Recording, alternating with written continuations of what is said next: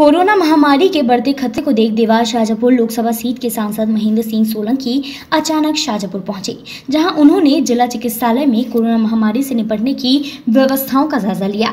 इस दौरान सांसद ने आइसोलेशन वार्ड संक्रमक रोग कक्ष तक पहुंचकर चिकित्सालय के अधिकारियों को ज़रूरी दिशा निर्देश दिए। सांसद महेंद्र सिंह सोलंकी ने सांसद निधि से दस लाख रुपए तत्काल स्वीकृति प्रदान की है, जिससे अस्पताल में बेड और आवश्यक सुविधाओं को उपलब्ध कराया जा सके। इस दौरान दौरान उनके साथ पूर्व विधायक Arun Bhimawat, collector Virendra Singh Rawat, SP Pankaj Shrivastava CMHO Prakash Phulam Brikar उपस्थित रहे।